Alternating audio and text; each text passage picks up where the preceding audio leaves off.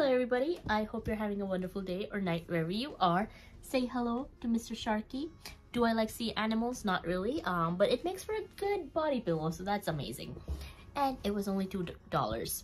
So yeah. Anyway, I'm super happy with this, even if I don't like sea animals, which is very, very ironic. Um, moving on. In today's video, I want to talk about 10 things which um, I need in my teaching journey. I'm not saying these things are necessary for all teachers, they are necessary for moi. So, without further ado, let's get straight into it. On number one, sitting right over there, I'm too lazy to get up and bring it to you, is my laminator need my laminator for um, a lot of things. I laminate my bingo cards so I can use them. I laminate, you know, my journaling pages that I do on, you know, my personal side of things because I love journaling. So um, I'm journaling like postcards and, um, you know, anime stickers and things like that. And I like to laminate those. So yeah, my laminator. Moving on to number two is a printer. Now, here's the thing I've never had a printer in the five years that I've been in Korea and you know this is I mean not Korea. Four years three and a half years that I've been in Korea and you know uh, year and a half that I've been in Japan. I've never had my own personal printer but I've always needed a printer for work. And I would always use the work printer to print out worksheets you know any kind of craft activities, things like that. So when I didn't have a printer for my job at one of the jobs, it would drive me insane. Oh my goodness. So printers, very important. And the good thing about Japan is there's a printer every single corner. So you don't really need your own. You can just print a page for 8 cents and you're good to go. So yeah, 50 cents, uh, 45 cents for the color one. So yeah, and then you can photocopy it at work. So do I really need to buy a printer? Not really. Would it be convenient? Yes. Moving on from the laminator and the printer, the second thing I need is glue.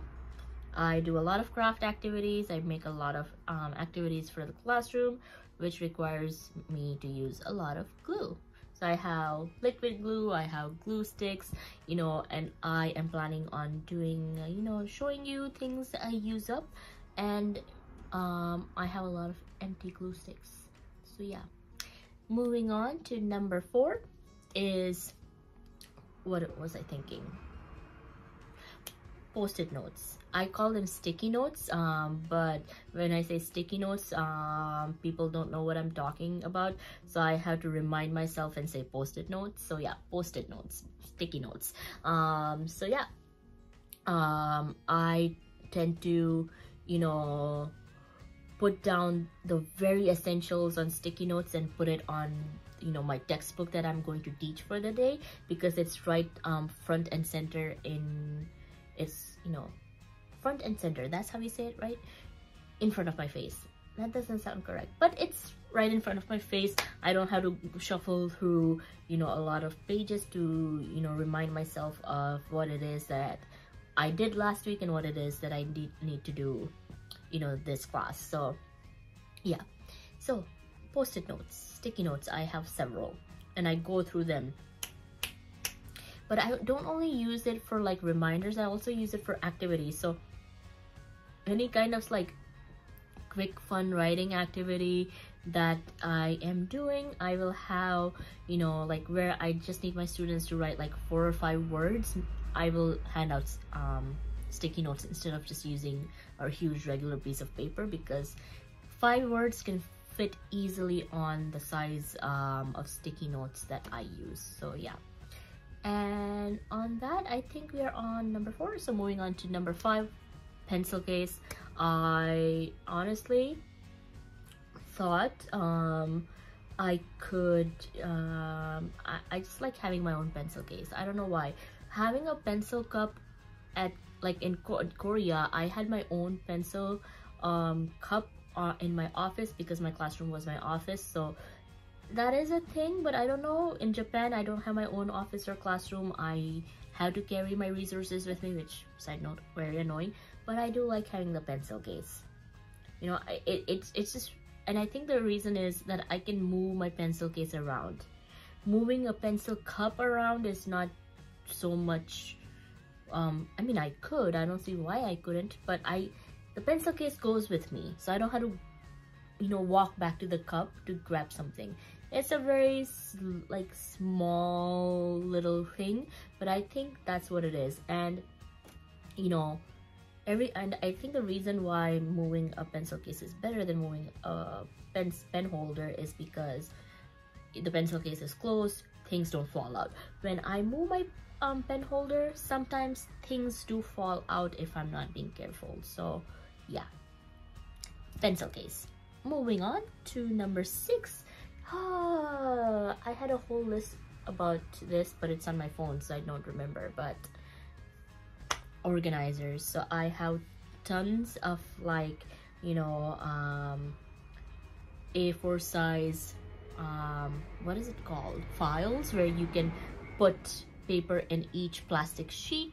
I have one for all my teaching contracts. I have one for the curriculum. I have one for my own personal notes. I have one um just for you know and um activities for students. So file organizers. Number seven is tiny sticky notes. So i have the big sticky notes for things i need to write. And then i have the tiny sticky notes um, for just inserting on the page number that i was i'm going to teach on that day. But i think they they can just be the same thing. So seven. Hmm what else is something i use? Hmm.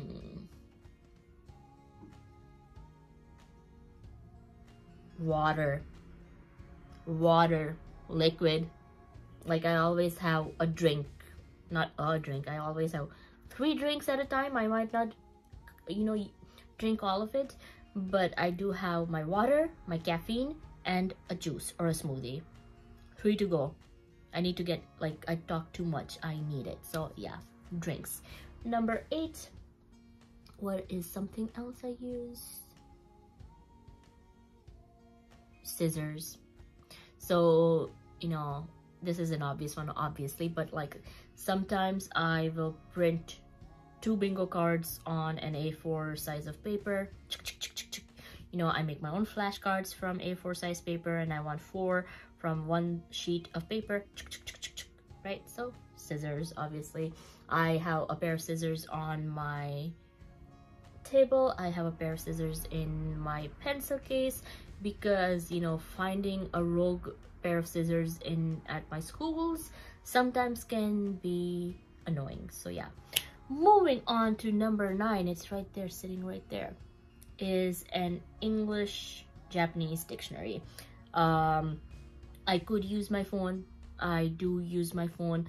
I don't really need the dictionary but i like carrying it around for you know sometimes my internet stops working and that's a whole rant i'm gonna make a video about. I need to change my phone plan carrier but i'm waiting for the new iphone to drop. So until then i'm gonna stay with the sucky career that i have right now. But moving on i do carry a dictionary with me because it like i use the phone for the meaning but i use the dictionary for the pronunciation because the dictionary will teach you how to pronounce a word if you know you're not sure how to pronounce it because it breaks the syllables down right? So english japanese dictionary are we on number eight, eight or nine? I think i said eight things number nine. What else is something i use?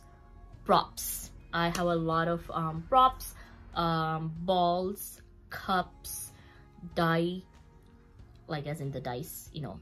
Singular is um, a die and multiple is dice i believe. So dice um what else?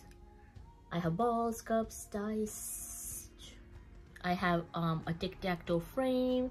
I have you know clothes clothespins for like you know fake bowling activities. I have jenga. I have the spinner like a spin wheel thingy. So i have a lot of props um which i do use uh yeah.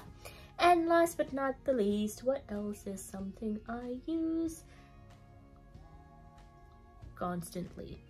Because ironically, I don't use stapler as much. I do have one, but I don't use it often. I don't have to. At least with my current job. stickers yep my kids love stickers um so i do have to have an arsenal of stickers i wish they would love anything but pokemon but that is what they love and i want them to you know like other things too. But here's the thing. If they don't want anything other than pokemon why am i spending on money on things that they're not going to enjoy? Because if a lot of students if they don't like Doraemon they're just not gonna take the sticker. They're like no thank you. So we're stuck with Pokemon. But yeah a lot of Pokemon stickers at the moment. I hope that changes sometime soon. So that's about it. These are the 10 things that I really require in my teaching journey a note on Pokemon stickers in Korea they didn't care about Pokemon stickers so much as they just wanted any cute sticker. Um, but Japan is very Pokemon um, focused. So yeah, but stickers. So yeah, I hope this video helps you in your teaching journey in some way, um, shape or form. Anyway, I gotta get going. I should probably have a snack before I get busy with other things. And I start cleaning. I'll see you in the next one. Bye for now.